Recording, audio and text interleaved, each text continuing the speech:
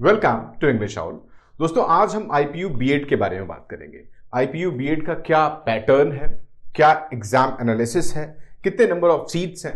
कितने कॉलेज हैं? और क्या पेपर पैटर्न होता है? इन सब के बारे में आज हम डिटेल में डिस्कस करेंगे। आप सबको ये भी पता होगा कि 2020 में जो आई आईपीयू बीएड का पेपर हुआ था, उसमें ऑल इंडिया रैंक नाइन हमारी ही कोचिंग में दिया था। तो चलिए स्टार्ट करते हैं। दिल्ली में रहते हुए अगर आप बीएड के ऑप्शंस की तलाश करेंगे तो आपको एक ऑप्शन मिलेगा दिल्ली यूनिवर्सिटी का, दूसरा आईपीयू का मिलेगा। आईपीयू इनफैक्ट ज़्यादा पॉपुलर है डी से। तो पहले जो हम स्टार्ट करते हैं, देखते हैं जीजीएस आईपीयू यानी Guru Gobind Singh Indraprastha university BEd bachelor of education इसमें अगर मैं एलिजिबिलिटी की बात करूँ तो अगर आप किसी भी अदर स्ट्रीम से हो नॉन बीटेक और नॉन बीई से तो या तो आप ग्रेजुएशन में हो या मास्टर्स में हो, आपको 50 परसेंट चाहिए। यानी एलिजिबिलिटी क्राइटेरिया क्या है? 50 परसेंट चाहिए होता है नॉन बीटेक और नॉन बीई के लिए। और जो बीटेक या बीई है, या उसके इक्विवेलेंट उन्होंने कोई कोर्स किया हुआ है तो उनको 55 परसेंट चाहिए होते हैं अपने जो भी रिस्पेक्टिव ग्रेजुएशन का उनका कोर्स है, या ग्रेजुएशन या मास्टर्स के कोर्स में। जो आपका सिलेक्शन होता है बीएड में, वो कंप्लीटली जो कॉमन एंट्रेंस टेस्ट होता है, उसी के थ्रू होता है। तो अब आईपीयू बीएड का इनडेप्थ एनालिसिस करते हैं। इस एग्ज़ाम के पैटर्न की अगर मैं बात करूँ तो इनफैक्ट आप देखोगे कि 2019 तक जो टाइम ड्यूरेशन था वो थ्री आवर था और नंबर ऑफ़ क्वेश्चंस थे वो 150 हुआ करते थे।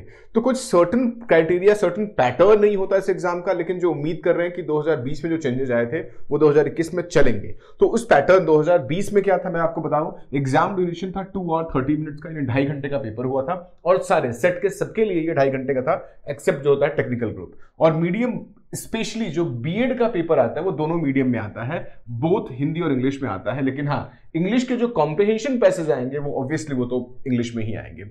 ये एमसीक्यू बेस्ड पेपर होता है ऑब्जेक्टिव टाइप राइट क्वेश्चन पे आपको फोर मार्क्स मिल जाते हैं नेगेटिव पे आपको माइनस वन मिल जाते हैं। अगर एक पेपर पैटर्न की मैं बात करूँ कि क्या क्या वेटेज होता है तो इंग्लिश का वेटेज 15 होता है, जिसमें सबसे ज़्यादा वेटेज आपको मिलना चाहिए वो कैबरी के सेक्शन पे सबसे ज़्यादा वेटेज होता है, यहाँ पे। आप देखोगे जो जनरल अवेयरनेस है 50 25 परसेंट होता है। तो इसमें जीके करंट अफेयर सब कुछ इंक्लूड करके 25 परसेंट बन गया। टीचिंग एप्टीट्यूड से 25 20 परसेंट क्वेश्चन बनते हैं। लेकिन सबसे ज़्यादा अगर किसी चीज़ का वेटेज है तो वो है लॉजिकल रीजनिंग का। तो आपको सबसे ज़्यादा अगर कहीं फोकस करना है तो वह है लॉजिकल रीजनिंग पे। मैं फिर से रिपीट कर दूँ English 15 L R forty GK 25 और टीचिंग एप्टीट्यूड 20 परसेंट होता है। और ये एग्ज़ाम ड्यूरेशन अब हम सब जानते हैं कि बी एड टू ईयर का प्रोग्राम है। अगर मैं नंबर ऑफ़ सीट्स की बात करूँ तो आपको कहीं भी exactly number of seats declare नहीं मिलेगा। लेकिन जो टोटल 24 कॉलेज है, जो एनलिस्ट कॉलेज है, और ये सारी इंफॉर्मेशन जो मैं आपको दे रहा हूँ, किसी वेबसाइट से नहीं है।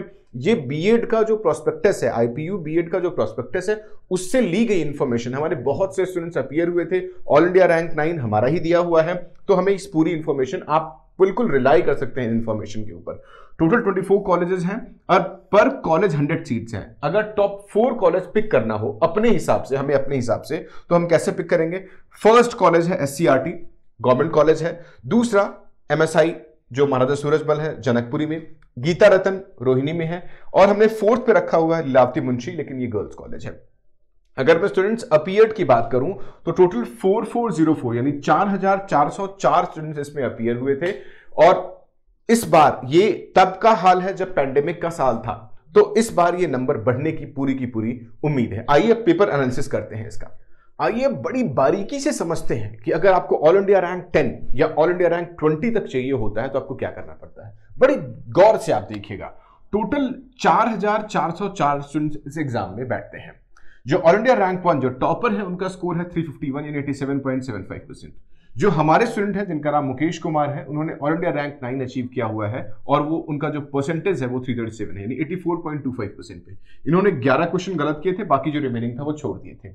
मतलब क्या है कि आप देख सकते हो, जो टॉपर का परसेंटेज है, वो 80 अबव स्कोर कर रहा है 85 टू 80 के बीच में। तो अगर आप ऑल इंडिया रैंक 10 तक लाना चाहते हो तो आपको 80 टू 85 परसेंट स्कोर करना होगा। इसका मतलब है कि आपके पास जो स्कोर होगा आपका, लगभग 340 टू 350 यानी 340 से 350 क्वेश्चन में आपके सही होंगे तो आपको ऑल इंडिया रैंक 10 तक अवेलेबल हो जाएगा। अगर मैं ऑल इंडिया रैंक 20 तक की बात करूँ तो ये परसेंटेज हो जाएगा 75 टू 80 के बीच में। और आप एवरेज कॉलेज चाहते हो तो उस केस में आपके पास ये जो ऑल इंडिया रैंक आपका होना चाहिए जो परसेंटेज होना चाहिए आपका, ये परसेंटेज की बात करूँ ऑल इंडिया रैंक ट्वेंटी तक ऑल इंडिया रैंक फिफ्टी तक ये परसेंटेज जो होना चाहिए, वो होना चाहिए sixty five to seventy five percent अगर आपके क्वेश्चन सही हैं तो आपको आसानी से अच्छा कॉलेज मिल जाएगा। तो आप सबको पता होगा कि चाहे वो यूपी बीएड हो, चाहे वो डीयू बीएड हो, चाहे वो यूपी बीएड हो आईपीयू बीएड हो, हम इन सब के लिए आपको कोचिंग प्रोवाइड करते हैं। ऑल इंडिया रैंक नाइन भी हमारा ही दिया हुआ है। तो अगर आपको लगता है कि आपको आईपीयू बीएड के लिए कोचिंग की ज़रूरत है तो इस गिवन नंबर पर आप कॉल करके हमारा कोचिंग ज्वाइन कर सकते हैं। उम्मीद है ये इन्फॉर्मेशन आपको पसंद आई होगी और बीएड के रिलेटेड हर एक टाइमली अपडेट आपको मिलती रहेगी। प्लीज़ इस चैनल को सब्सक्राइब करें और इस वीडियो को अपने दोस्तों के साथ शेयर करें। Thank you so much